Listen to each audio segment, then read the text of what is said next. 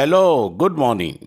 Welcome to Hour of Destiny Daily Devotional and Spiritual Breakfast with Reverend Mike Eniola.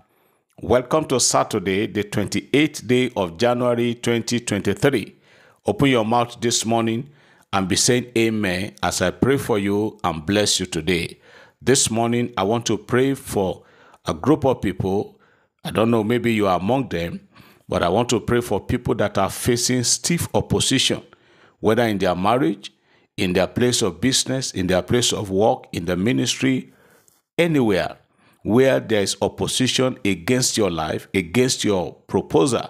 I want to pray this morning that the Lord will take over the situation. In any area, in anywhere you are facing opposition to your breakthrough, opposition to your marital proposal, in the name that is above every other names, I command every opposition today to bow down in the name of Jesus Christ. I remember, I remember many years ago when I and my wife were in courtship, as we're getting ready for the day that she would take me to go and meet her parent, we're told that there's one of one of our uncles who will naturally not agree for the proposal, being that I'm a pastor. So we prayed, we prayed, we prayed, we fasted, both I and my wife to be, and my friend who later uh, was my best man on the wedding day. We fasted and prayed and bind all the bindables. By the time we got to the village and she presented me to everyone, the first person to accept our proposal and agree that I should be the husband of their daughter was that uncle. No opposition, nothing, no, no one at all. I am praying equally for you that you are hearing me this morning. That anyone who have vowed to be in opposing view or, or opposing side to your breakthrough and success in life, by the authority of God upon my life, I come, I, I overtake them and I overrule their decisions in the name of Jesus. Everyone that have received baptism and anointing from the pit of hell, to always against you in the office, to always opposing your marriage, never see any good thing in what you do. From today, Saturday, 28th of January 2023, I subject all their proposals, all their antagonistic views and proposals to nothing. In the name of Jesus, I am praying that from today, they will no longer be the one to give the final say over your matter. I, I see God putting you in charge and I see God making you to smile. In the name of Jesus, every opposition to your breakthrough, to your success, you that you are having a school, there are many opposition against you. I see God putting you on top. In Jesus' name, every one of us, as we go out today in peace this weekend, and this weekend we end in praise for you. In Jesus' name. Somebody shout, Amen. I believe and I, be, I believe and I receive. Praise God. To God be the glory. We thank God for the great and marvelous things that the Lord is doing for us and in our midst. Let me quickly take some few testimonies. Excuse me. Let me take few testimonies this morning. And then we come back to our prayer guide for today. The first one today is a good evening, Daddy. Happy New Year to you. Happy New Year to you and yours. My testimony go like this. I have come to re- have returned to say thank you to Jesus for his mercy over my life and my family throughout the year 2022. I am the one who God has shown mercy and favor to. In November and December 2022, firstly, God restored me back to him on this altar. I had lost hope because of my child because of the challenges I faced. Secondly, God showed me mercy by giving me a car. Thirdly, God gave me a landed property in my hometown. Jesus ended the year 2022 with goodness and mercy for me. I have been struggling to get the above for years. If God can do this, I know He will perfect the rest. Thank you, Daddy, for all your prayers and encouragement on this altar. God bless you, sir. Indeed, what God cannot do does not exist. All the way from Kaduna. Praise God. We appreciate God for the wonderful things He's doing. Another one is a testimony, testimony. Good morning, Reverend Eniola. I have come to say thank you to God for all you all he has done for me. I was saved from imminent danger through the mercy of God on the 3rd of this year. I was going to work, waiting for a vehicle that will convey me to my office because the driver of our of our official vehicle was on his annual leave. On that fateful day, as I was flagging down the vehicle, a woman stopped where I was waiting for vehicle with some of my colleagues and she said she wanted to help me even though she was not going to my direction but that if it was okay for me she would drop me at a place that would not be too far from where I was going. I said okay. Uh, I said okay. As I said okay and entered the vehicle, the most amazing thing was that she carried me only, she, she picked only me and no one else. And I, as I was wondering why, at that place that I was waiting for a vehicle with my colleagues, there was this bus we always enter when our vehicle was out of service. On our way, I saw that vehicle coming and I was like, I would have asked this woman to go since she was not going my, to my direction, not knowing that the woman was an angel sent to save me from danger. The following day, a colleague who eventually entered that bus came to tell me that they had an accident on their way as one of the front tire busted while on transit. Help me to thank God for I don't know what would have happened if I was in that bus.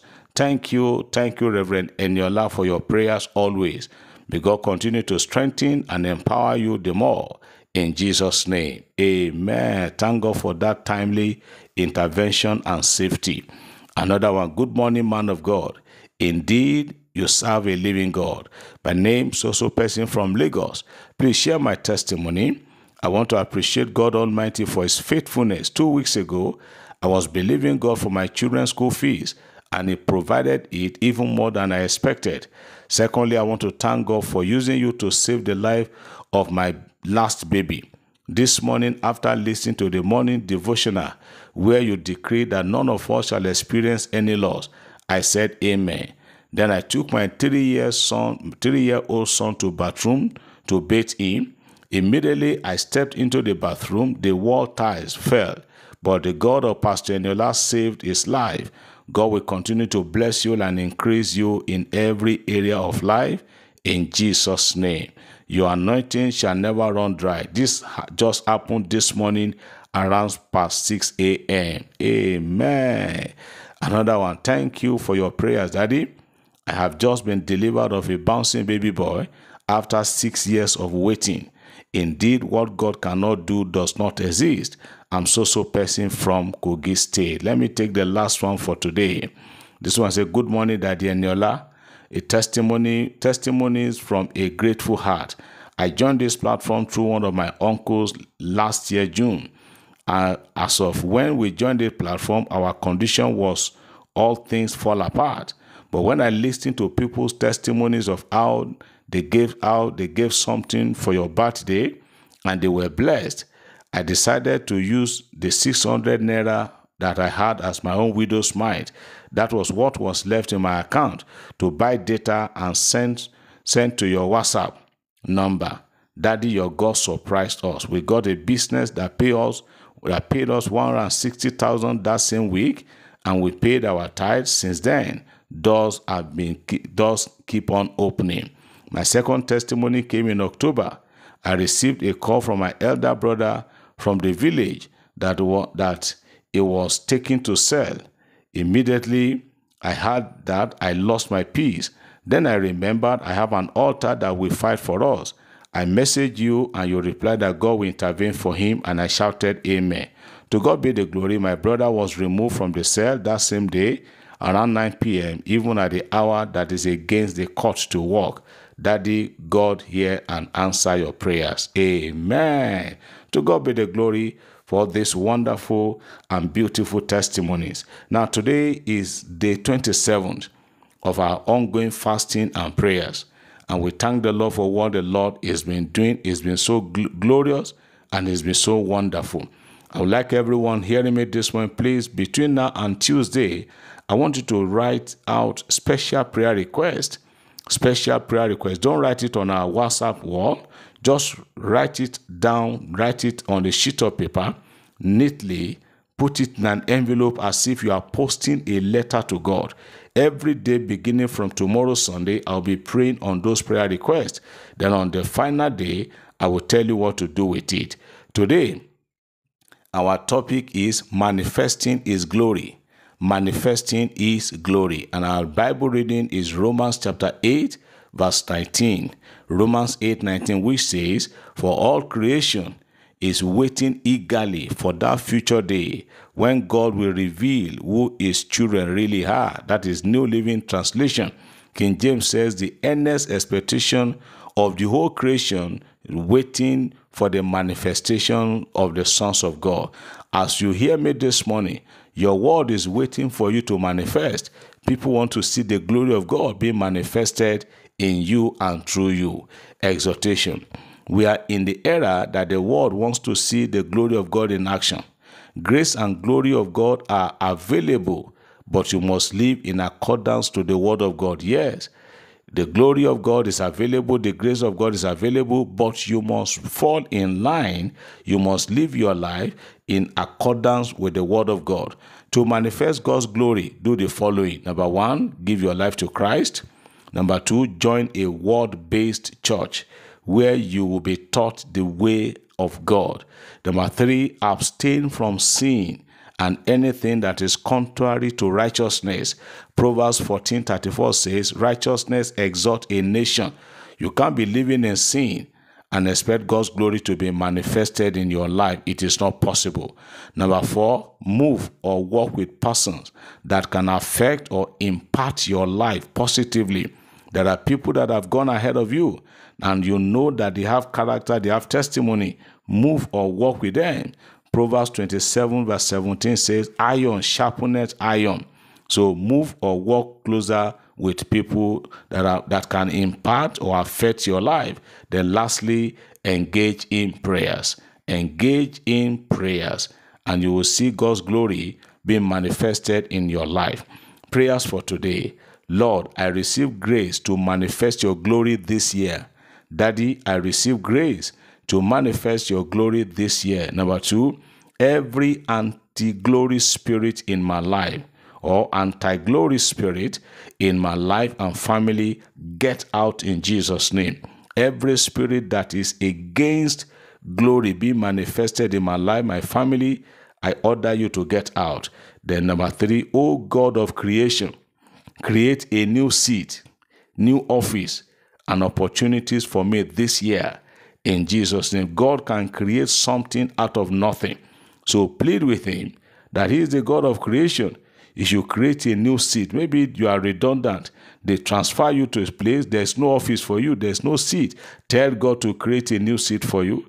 He should create a new office for you and new opportunities, and He will do so.